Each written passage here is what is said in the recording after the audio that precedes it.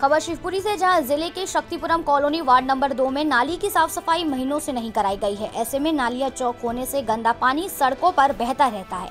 इससे कॉलोनी वालों को आवागमन में परेशानी का सामना करना पड़ रहा है। क्षेत्र में पिछले कुछ माह से साफ़ सफ़ाई व्यवस्था गिर चुकी है। जहाँ तैनात सफ़ाई कर्मचारी नहीं पहुँच रहे हैं, वहीं कुछ कॉलोनी में तो लोग खुद ही नालियों की साफ़ सफ़ाई करना शुरू कर दिया है। वहीं स्थानीय लोगों का कहना है कि पहले तो इस नाली की नियमित साफ़ सफ़ाई होती थी, लेकिन पिछले कुछ माह से नाली की सफ़ाई नहीं कराई गई।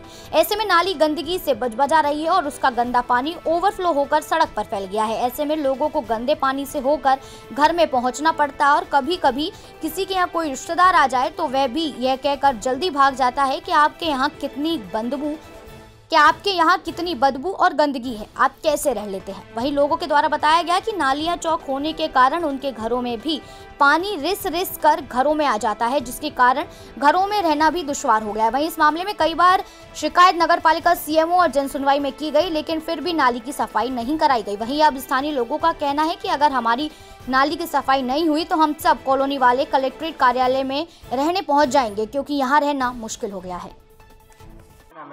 रजनी राठौर। कहाँ रहते हो? शक्तिपुरम कॉलोनी खुड़ा में। क्या समस्या आ रही थी? पानी भर रहा है घरों में नालियों का। हम्म, और दरखास्त देने जा रहे हैं तो सुनवाई नहीं हो रही है। हमारी कई बार हमने दरखास्त दे चुके हैं। घरों में पानी भर रहा है रिश्तेदार आ रहे हैं बोलते हैं कि बदबू आ रही है घर में कहाँ से आ रही है ये? घरों में पानी भर रहा है कोई सुनवाई नहीं हो रही है। हमारी सीएम साहब के पास गए थे तो सीएम साहब ने भी हमारी कोई सुनवाई नहीं की। अंदर सीएम साहब बैठे थे नौकरों ने बोल दिया कि निकल गए सीएम साहब। ये कोई मतलब थोड़ी ना है। हम्म, हमने नाम है आपका? मेरा नाम ललिता सोनी है। वार्ड नंबर दो शक्तिपुरम कॉलोनी खुड़ा। यहाँ पे ना तो सफ़ाई कर्मचारी आते हैं ना यहाँ पे नियमित झाड़ू लगती है ना नली साफ़ होता। नलियों में पानी भरा हुआ है इतनी गंदगी रहती है कि पूरे मतलब घरों में बरसात के टाइम में तो इतनी दिक्कत हो जाती है पूरे घरों में पानी भरा रहा है। कई बार हम आवेदन दे चुके हैं शिकायत भी कर चुके हैं सीएम हेल्पलाइन में भी हम शिकायत कर चुके हैं लेकिन हमारी कोई सुनवाई नहीं हो रही है। कब से सफ़ाई नहीं आपकी यहाँ सफ़ाई होती नहीं है यहाँ सफ़ाई कर्मचारी आठ पंद्रह दिन में आते हैं वो भी वो पैसे मांगते हैं ना अगर दो ना तो वो सफ़ाई करते हैं। ना तो यहाँ नलियों की सफ़ाई होती ना यहाँ पे रोड पे झाड़ू लगता। है? सीएमओ साहब के यहाँ भी गए थे तो उन्होंने बोला, वेट करो। फिर वेट करने के बाद कुछ टाइम पे उनके लड़के बोले कि, यहाँ पे सीएमओ सर नहीं है। आवेदन टाइप करके दिया। हम लोग हम लोग आवेदन भी दिया है तो हम लोगों को कोई सुनवाई नहीं है। ना तो वो कोई कार्रवाई करते, ना वो मिलते, कोई कोई कार्रवाई नहीं हो रही, बहुत परेशान है।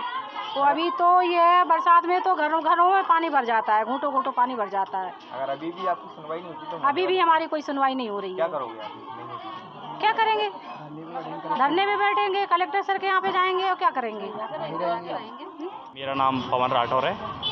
जी मैं वार्ड क्रमांक दो में शक्तिपुरम कॉलोनी खुड़े में रहता हूँ। मैंने नाली की समस्या के बारे में सीएमओ साहब एंड जन सुनवाई में भी दिया लेकिन ये कई दफ़े मैं दे चुका हूँ तो इस पर कोई सुनवाई नहीं हुई है। लेकिन कुछ लोग कहते हैं आपके यहाँ की अतिक्रमण है बहुत उसके हटाने के लिए तो मैंने इनके लिए सब लोग सहमत हैं हटवाने के लिए भी, लेकिन फिर भी कोई तोड़ना नहीं चाहता, ना कोई सफ़ाई के लिए आता है। मैं सुनवाई अभी भी कलेक्टर साहब के यहाँ में गया तो उनने कहा करवाते हैं, लेकिन इसके बाद भी कोई सुनवाई नहीं हुई। अब क्या करें, हम लोग, अब हम एक समझदार लोग होने के नाते हम ये चाह रहे थे कि हम ऐसे ही सुनवाई कर लें, लेकिन धरना ना दें। इससे बेटर है कि अगर नहीं सुनवाई होती है तो हम कलेक्टर साहब के आगे ही धरना देंगे और मांग करेंगे अपनी सफ़ाई के लिए। धन्यवाद।